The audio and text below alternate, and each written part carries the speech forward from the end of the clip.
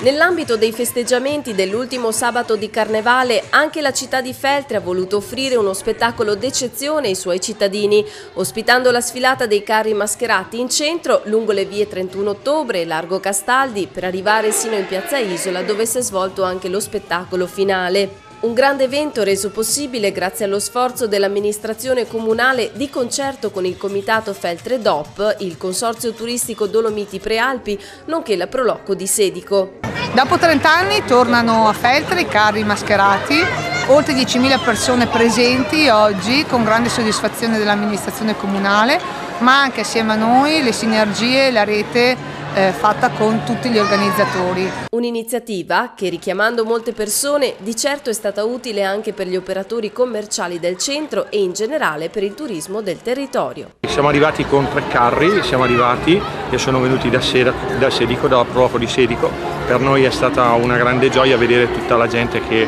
ha detto appena l'assessore, ma una grossissima soddisfazione, non ce l'aspettavamo tutta questa gente veramente, la la gente, la, il paese ha risposto benissimo e speriamo che la seconda edizione vada molto molto meglio della prima.